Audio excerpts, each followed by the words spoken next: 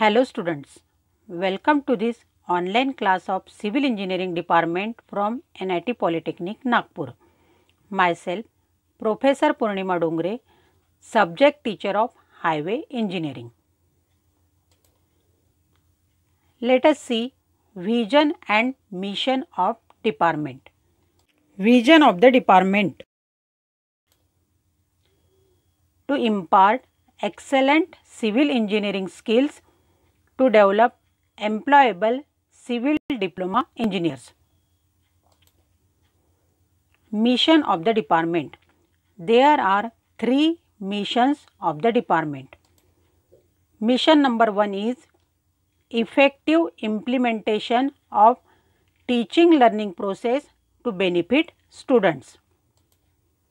Mission number 2 is imparting the modern technical skill as per the requirement of the industry to improve employability. Mission number 3 is to develop social and environmental responsible civil engineers. In today's session, we will see practical number 1 and title of practical is draw the sketches showing standard cross section of national highway और state highway major district road और other district road in embankment and cutting learning outcome for this practical is इसमें आता है course outcome program outcome and practical outcome सबसे पहले देखते हैं course outcome identify the types of roads as per IRC recommendations यह practical draw करने के बाद आप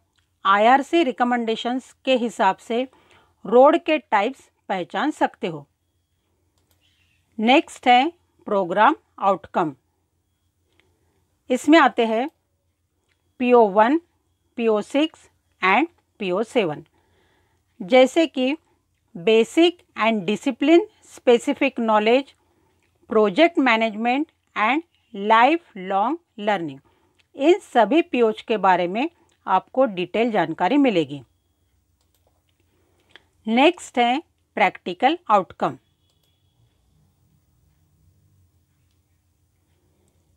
students will able to draw the sketches showing standard cross sections of national highway or state highway, major district road or other district road in embankment and cutting. यह practical करने के बाद आप national highway state highway major district road and other district road इन सभी roads के sketches draw कर सकते हो तो स्टूडेंट्स सबसे पहले देखते हैं classification of roads according to Nagpur plan roads are classified as national highway state highway major district road other district road and village road IRC specification के हिसाब से national highway and state highway की roadway with single और double lane के लिए 12 metre की रहती है मेजर डिस्ट्रिक्ट रोड की रोडवे विथ सिंगल और डबल लेन के लिए 9 मीटर की रहती है अदर डिस्ट्रिक्ट रोड की रोडवे विथ सिंगल लेन के लिए 7.5 मीटर की और डबल लेन के लिए नाइन मीटर की रहती है विलेज रोड की विथ छोटी रहती है इसमें जनरली सिंगल लेन यूज़ करते हैं इसलिए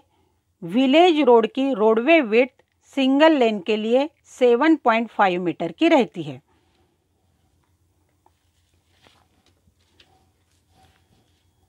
see the images of national highway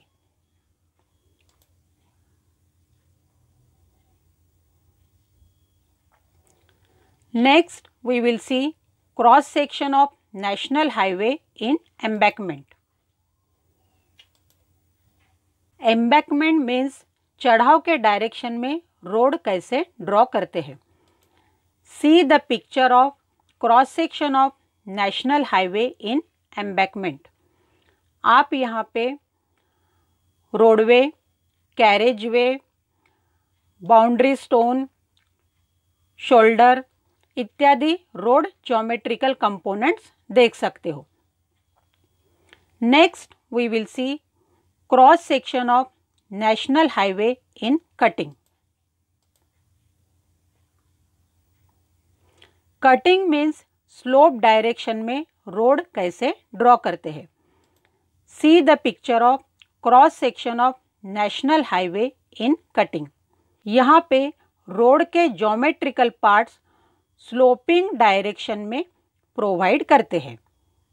next we will see cross section of major district road in embankment see the picture of cross section of major district road in embankment यहाँ आप carriage way formation width right of way shoulder side drain